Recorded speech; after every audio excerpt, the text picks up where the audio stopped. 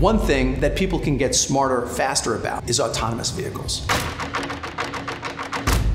Is your car safe to drive? Today, 37,150 people die on America's roadways. It's a national tragedy. It's too many people.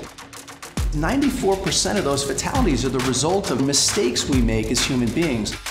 And so if we can add more technical capability in the car, more automation to protect drivers, we can save lives. We can not only save lives with highly automated vehicles, but we can save fuel, reduce greenhouse gas emissions, and reduce pollution. There are two reasons.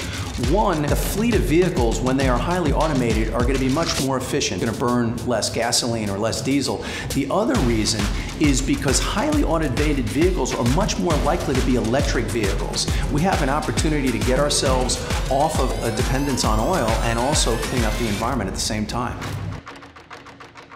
Why this matters is because we can save lives on America's roadways and create a more efficient and cleaner fleet of vehicles. It will be very good business for car companies. Safety is always good business for car companies. Sustainability is always good business for car companies.